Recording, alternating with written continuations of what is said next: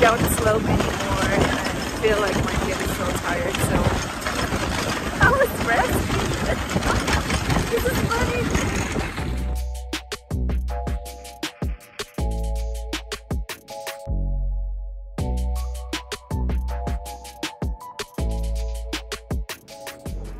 I am now here to Breckenridge and I'm going to rent some of the skis. I have never skied in my entire life. I'm from the Philippines, so we don't have snow there, so this is not a thing. For us, they're in the Philippines, and it's my first time to do this. Good luck! I'll show you guys what they have here. So they have some stuff here if you don't have ski. Can just like rent it out. Some helmets some skis. it's, my, first time to such an actual ski, honestly.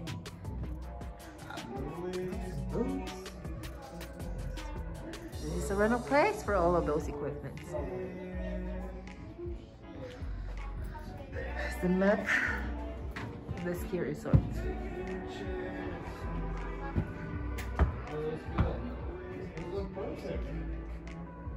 boots. So I will be measuring the, the size of the boots that I'm gonna wear for ski.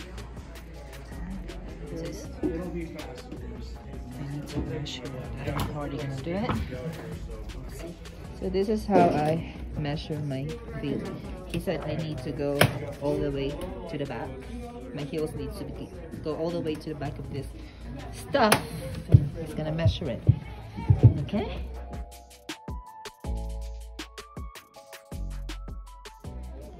So I'm wearing the boots now.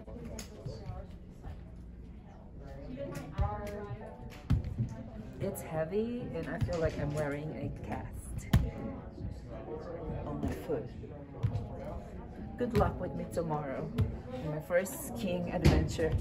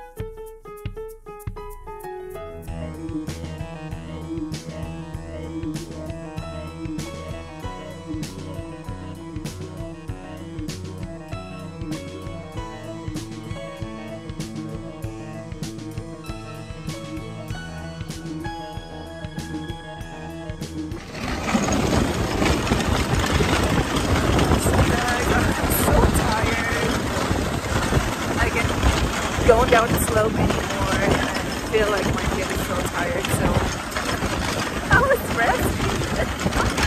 this is funny. Here's my rescuer. Hi rescuer!